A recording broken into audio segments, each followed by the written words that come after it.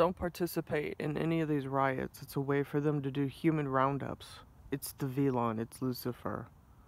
It's Jimboy. Um, since Paris has Wi-Fi in every major city, it's a good way for them to increase the anger because the military industrial complex can send anger. So don't participate in these riots. Okay? It's the Velon. It's Lucifer, the fallen one and his legion. A lot of these people are not human. You want to stay alive and stay away from the riots. And if you have any weapons at all, like a rifle or a gun, I suggest you keep it.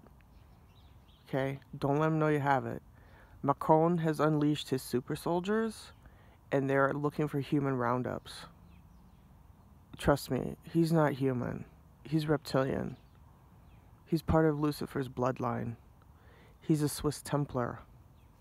Okay? He's unleashed his army. Okay? They're called super soldiers. Okay? And all the tactical and upgraded technology. Stay the fuck away from the riots. It's a good way to get really hurt and possibly killed and detained. You don't want to get arrested. You do not you don't know where they're going to take you. Okay. Okay, just because these people are like being arrested and tied to a flagpole doesn't mean you need to participate because you're angry with the policies in France. It's all a fucking setup don't participate in the riots. Over and out.